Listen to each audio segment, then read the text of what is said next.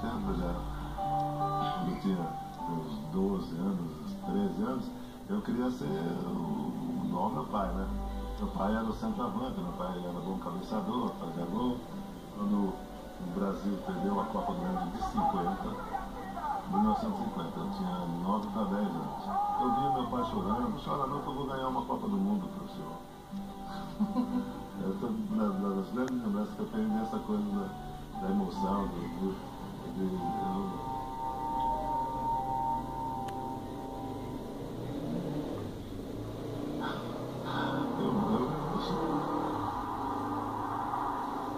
prometi para meu pai e virei com três Copas do Mundo para ele. A primeira vez que eu pus uma camisa da seleção brasileira, pouca gente sabe também, fiquei emocionado, chorei.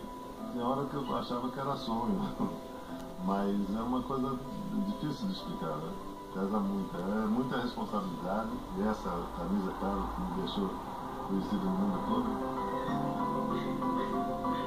Olha aí, meus queridos amigos que participarão das Olimpíadas.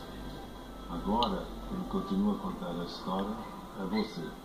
É um ouro inédito que um país como o Brasil, né, considerado país de futebol, não ter um, um ouro desse é uma, uma coisa rara para para conquistar ouro. Ganha essa Olimpíada para mim, pra gente. É isso que eu peço.